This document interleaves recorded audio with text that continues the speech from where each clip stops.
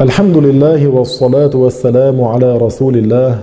أما بعد يقول الله تعالى في القرآن الكريم يا أيها الذين آمنوا قوا أنفسكم وأهليكم نارا وقودها الناس والحجارة. عليها ملائكة غلاظ شداد. لا يعصون الله ما أمرهم ويفعلون ما يؤمرون. قوله تعالى قوا انفسكم معناه جنبوا أنفسكم النار التي وقودها الناس والحجارة.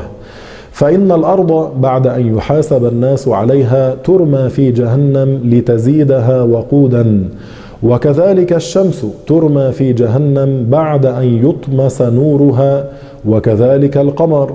أما قوله تعالى عليها ملائكة غلاظ شداد فمعنى غلاظ أنهم لا يرحمون الكافر ومعنى شداد أي أقوياء.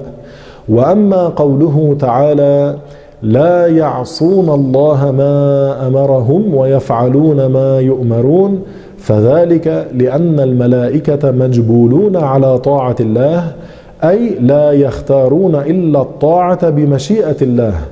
وكل منهم يقوم بما أمر به بلا تقصير. فالملائكة لهم وظائف منهم من هو موكل بالمطر ومنهم من هو موكل بالنبات ومنهم من هو موكل بالريح ومنهم من هو موكل بالجبال إلى غير ذلك من الوظائف. وجاء في تفسير الآية أن الله يأمر المؤمنين أن يقوا أنفسهم وأهلهم النار التي وقودها الناس والحجارة بتعلم الأمور الدينية. وتعليم أهليهم ذلك أي معرفة ما فرض الله فعله أو اجتنابه أي الواجبات والمحرمات.